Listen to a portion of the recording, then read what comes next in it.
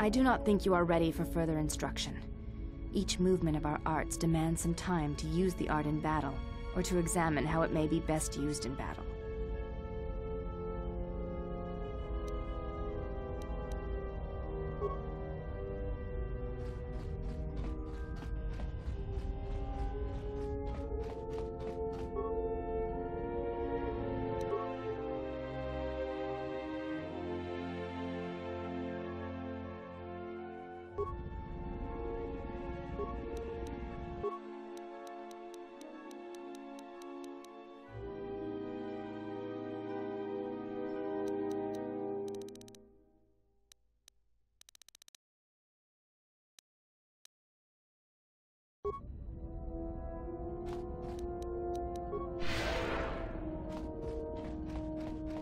Yes, General? Let me see what you have. No, you're still missing a lens. Something else I can help you with?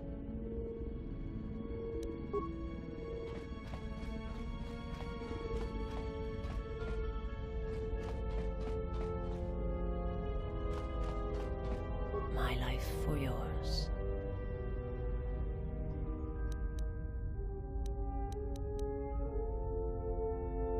I am able to serve. If we enter battle, I will fight and die alongside you.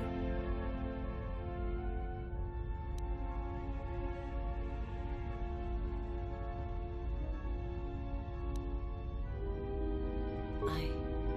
I have not heard that question in some time. My flesh is healed if that's the answer you seek. I know. And I fear that others will see the mercy in your actions. And in my survival. And use it as a weapon to do you greater harm. I serve my master. I am an emissary, a scout. My master was aware of a disturbance in the Force, but was unaware of its nature, of you. The disturbance is not something one feels from a living thing. There is little my master does not know.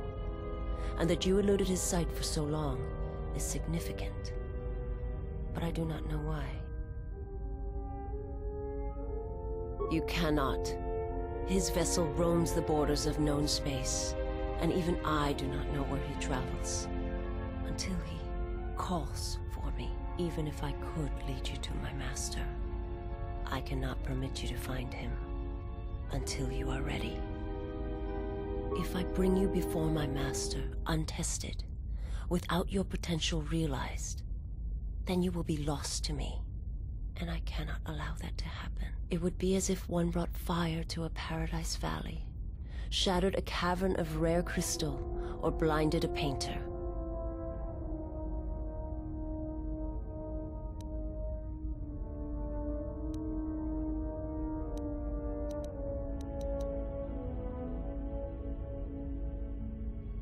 I cannot, I will not. I would die first and gladly to preserve you untouched, unharmed. Now that I have found you, I cannot sacrifice what I have found.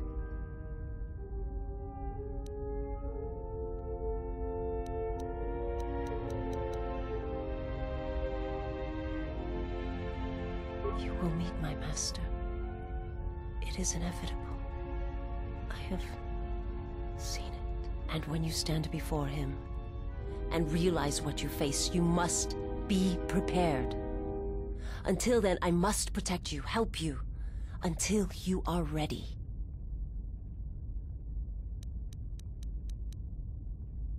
There's a, a greatness in you. A greatness that does not stem from the Force. It stems from who you are. And if my master does not understand you, cannot see you, then perhaps there is hope for us all. But if you seek to survive, then you must understand why this is so. There is much I see my master cannot. I fear it is because of my nature, the nature of my race. My people spend their lives seeing the galaxy, the energy streaming off stars, the growth of life, all things touched by the Force. It is not a subject which I have spoken of since its destruction.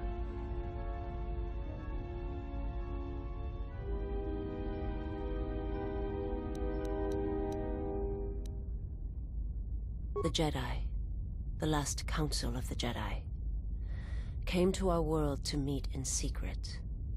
They hoped that perhaps among our people, they could achieve the clarity to see what was striking them from the darkness of the galaxy. They succeeded, but only in bringing him from the outer regions. And Katarr, with my kind, with the Jedi upon its surface, could no longer be ignored. And my people died, and the Jedi died, and there was no one left, only me.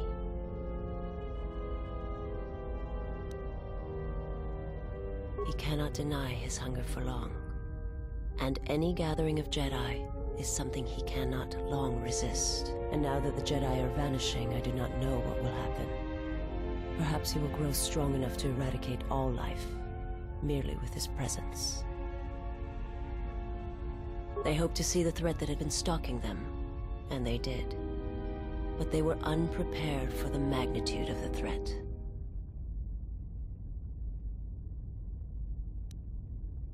I will answer what I can, but my answers may prove useless to you.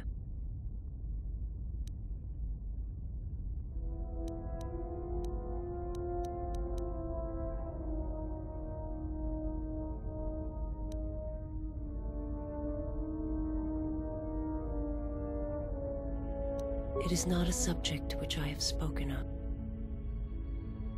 It was not a thing done with machines or weapons. The Force is far more terrible, and it touches more lives than any machine can hope to slay. For everyone that feels the Force, strongly, deeply, each one feels and perceives it in their own way. You have strengths, whether you know it or not. And my master has his. His power is great, and it comes from hunger. He is a wound in the Force, more presence than flesh. And in his wake, life dies, sacrificing itself to his hunger. And those who feel the Force strongly are beacons to his hunger. My people, my planet, would have been attacked in time. It was inevitable. Yet we could do nothing about it. I will answer what I can. I am not familiar with the place you speak of. My master has not entered Republic space for some time, but there are others who may move more freely, who may have been responsible for such an act of destruction. There are many factions within the Sith, all seeking to take what little remains in the wake of the Jedi Civil War. Where one moves, it is not always known to the others. But their purpose is the same. The death of all Jedi everywhere. They believe you are the last of the Jedi, and their hatred of the Jedi unites them. All their eyes are upon you, and it is a terrible, quiet darkness that pursues you. I will answer what I can.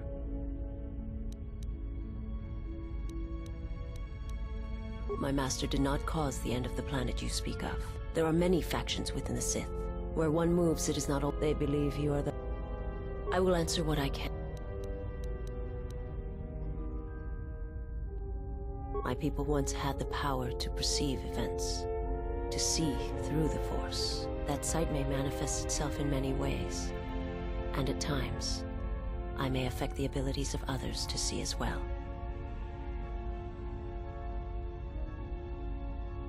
Is there something else you wished?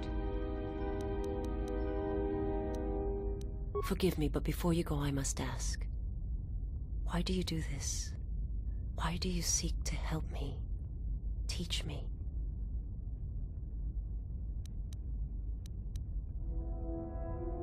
You must not do this. I cannot allow you to weaken yourself for me.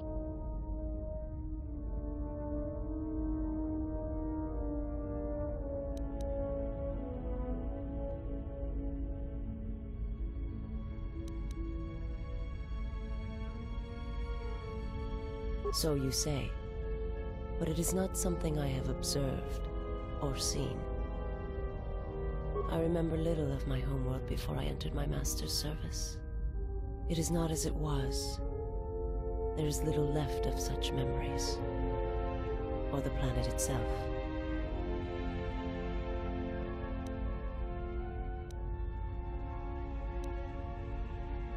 Very well.